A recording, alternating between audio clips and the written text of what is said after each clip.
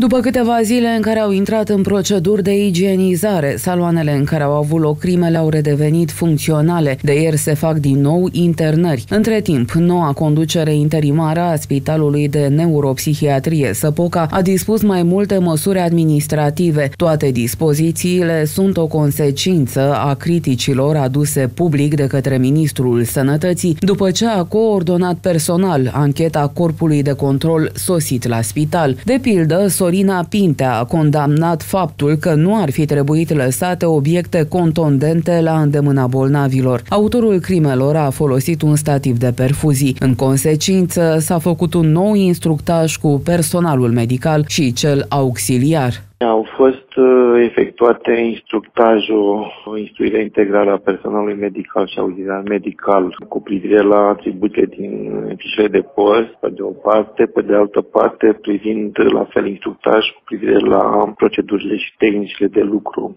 care trebuie să le aplice în activitățile care le desfășoară atât personalul medical cât și auxiliar medical. De asemenea, s-a luat decizia ca două saloane aflate în imediată apropiere a camerei de gardă să fie destinate strict cazurilor de urgență pentru pacienți care sunt aduși de poliție sau ambulanță.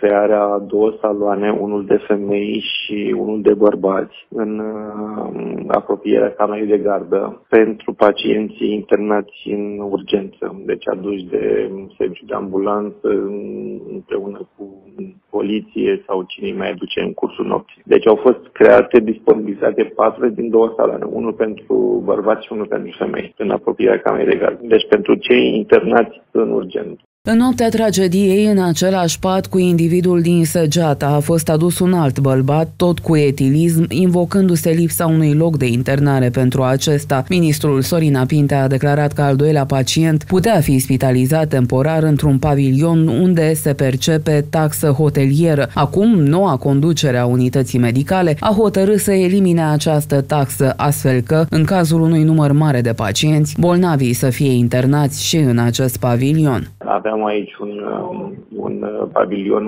cu care oferea pacienților uh, servicii hoteliere peste standard și se plătea o taxă pe zi pentru cei care doreau uh, să fie cazați aici. S-a renunțat la acest aspect tocmai din considerentul de a disponibiliza mai multe paturi pentru situații în care sunt internări mai multe în weekend și pe parcursul nopții. În plus, față de aceste măsuri s-a dispus sesizarea Comisiei de Disciplină, for care va analiza modul în care au acționat toți angajații aflați în tură, responsabili de sectorul în care s-a produs tragedia. În noaptea de 17 spre 18 august, un bărbat în vârstă de 38 de ani, internat cu etilism cronic, înarmat cu un stativ de perfuzii, a atacat pacienții din salonul lui și femeile din alt salon. Cinci bolnavi au decedat, alte o persoane fiind rănite.